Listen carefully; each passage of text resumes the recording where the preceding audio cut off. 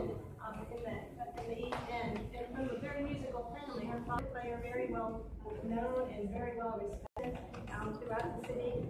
And we are here today, I think our, the family's doing, so that's one, one of the things we wanted to, to um, recognize for that, but, um, and I'll, I'll just let you talk more about that in a minute, but, um, right, that was well lived there. Attorney, Mayor City of Houston, hereby proudly proclaim February 18, 2020 as Norma Zenteno Day in Houston, Texas. Congratulations.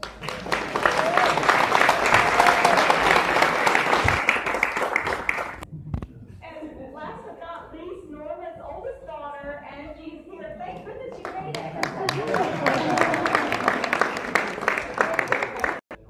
know, I, I know that, uh, uh, Lori, you, I don't know if you had mentioned, but the uh, film that, uh, yes, sir. Um, you guys, can you come forward just a little bit? Perfect. Okay, here we go.